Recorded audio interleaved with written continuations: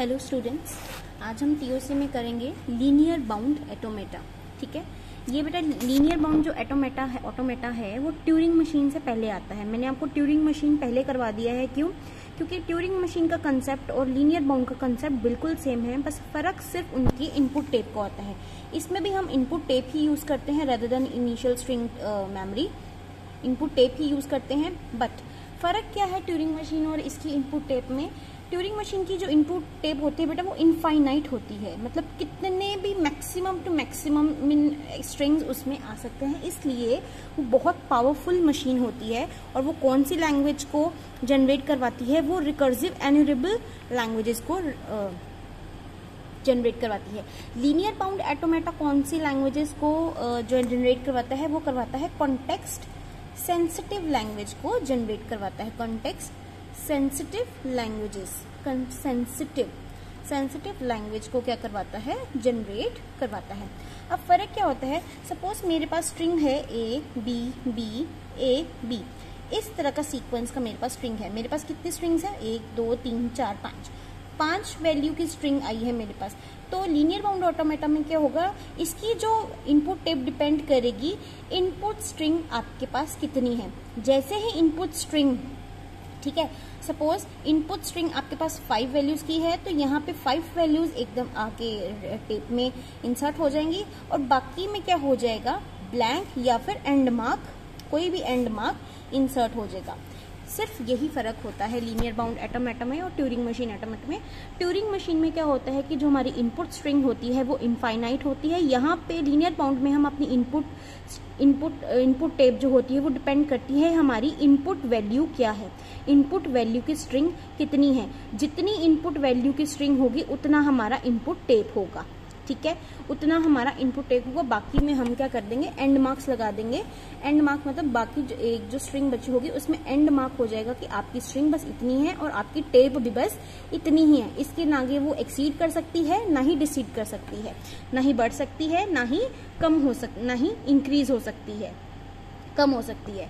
Is that clear linear bound automata is that machine where input tape depends upon the input string which we have to generate. With the help of linear bound data, we can generate context sensitive languages मतलब CSL. अब मैं आपको एक recap दोबारा बता देती हूँ ये देखो सबसे पहले हमने किया फाइनाइट ऑटोमेटा ठीक है फाइनाइट ऑटोमेटा क्या जनरेट कराता है फाइनाइट ऑटोमेटा जनरेट कराता है लाइट चली गई है we have to wait finite automata जो जनरेट करवाता है, वो करवाता है regular languages regular languages generate करवाता है। उसके बाद फाइनाइट ऑटोमेटा के बाद आता है हमारे पास। फाइनाइट ऑटोमेटा के बाद आता है हमारे पास कौन सा आता है? पीडीए पीडीए में मतलब पुश डाउन ऑटोमेटा जो कौन सी लैंग्वेज को जनरेट करवाता है? C context free language CFL को जनरेट करवाता है।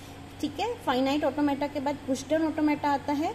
फाइनाइट ऑटोमेटा से ये पावरफुल होता है push down automata push down automata के बाद आता है हमारे पास एलबीए एलबीए का मतलब होता है linear bound automata linear bound automata वो कौन सी लैंग्वेज को जनरेट करवाता है? सीएसएल को कंटेक्ट सेंसिटिव लैंग्वेजेस को। उसके बाद हमारे पास लास्ट में आता है ट्यूरिंग मशीन ट्यूरिंग मशीन जो कौन सी लैंग्वेज को जनरेट करवाता है? रिकर्सिव एनुरेबल लैंग्वेजेस को रिकर्सिव एनुरेबल लैंग्वेजेस को। अब मैं आपको एक बात बता दूँ, जो रेगुलर लैंग्वेज होती हैं, वो डिटर्मिनिस्टिक और नॉन डिटर्मिनिस्टिक होती हैं। ठीक है रेगुलर रेगुलर लैंग्वेज भी डिटर्मिनिस्टिक होती हैं और नॉन डिटर्मिनिस्टिक होती हैं। जो हम पिछले लेक्चर्स में कर चुके हैं डिटर्मिनिस्टिक क्या होती है नॉन डिटर्मिनिस्टिक क्या होते हैं? फाइनाइट और अनफाइनाइट का इशू होता है। फिर उसके बाद एल भी नॉन डिटर्मिनिस्टिक और डिटर्मिनिस्टिक होती है।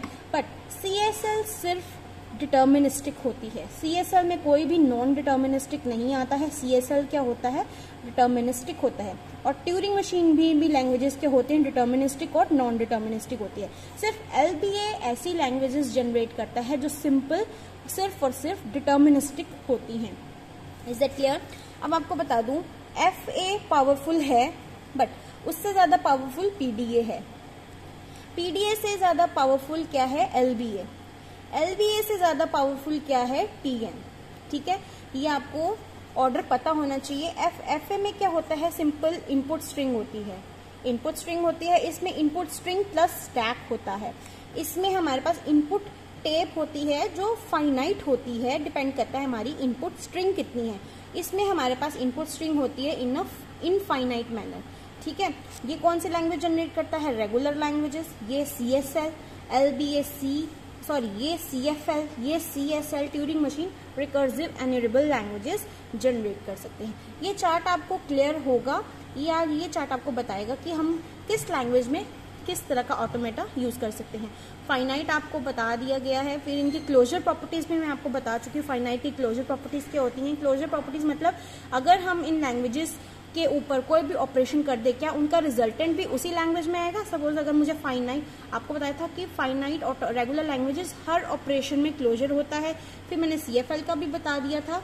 सीएफएल सिर्फ़ कंकैटिनेशन और एक और कंकैटिनेशन और एक वो हमारे पास जो होता है क्लोजर जो स्टार स्टार क्लोजर। इसमें बस क्लोज नहीं होता, बाकी सारे ऑपरेशन में सीएफएल क्लोजर होता है। नेक्स्ट मैं आपको बताऊँगी closure properties of C S L and Turing machine की लैंग्वेजेस के बारे में। ठीक है?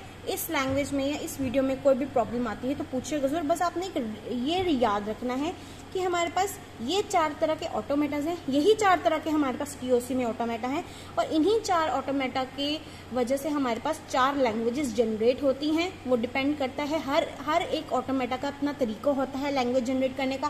पीडीए का अपना लैंग्वेज जनरेट करने का तरीका है with the help of stack ठीक है एलबीए का एक अपना तरीका है। एलबीए और ट्यूरिंग मशीन का बिल्कुल सेम तरीका है डिज़ाइन करने का लैंग्वेजेस का। ट्यूरिंग मशीन में मैं आपको बता चुकी हूँ कि किस तरह से हम लैंग्वेज को डिज़ाइन करते हैं। फाइनाइट ऑटोमेटा को आपने सिंपल और सिंपल आपने सीक्वेंस फॉलो करना है। सीक्वेंस को अपने हर एक में फॉलो करना है। ठीक है? इनपुट स्ट्रिंग हमारे पास हर लैंग्वेजेस के अपने अपने टप्पल्स होते हैं ऑटोमेटिक अपने टप्पल्स होते हैं, जैसे फाइनाइट ऑटोमेटिक के फाइव टप्पल्स हैं। इसके सिक्स टप्पल्स हैं, इसमें स्टैक आ जाता है टाउ आ जाता है। इसमें भी सिक्स सेवन टप्पल्स होते हैं। हर एक का अपना ट्रांजिशन फ़ंक्शन होता है। मेन आपने हर लैंग्वेज के ट्रांजिशन फ़ंक्शंस को याद रखना है, उनकी फॉर्मूलाज को याद रखना है, जो मैंने आपको हर लेक्चर में बताया हुआ है। ये आपका ओवरऑल आपका, अगर आप ये सारा ओवरऑल समझ आते हो कि ये इस मशीन में कौन सी लैंग्वेज जनरेट होती है और वो किस तरह से जनरेट होती है मतलब आपको टीओसी एकदम क्लियर है। इज़ दैट क्लियर फिर भी लेक्चर में कोई प्रॉब्लम हो तो पूछिएगा ज़रूर। Thank you so much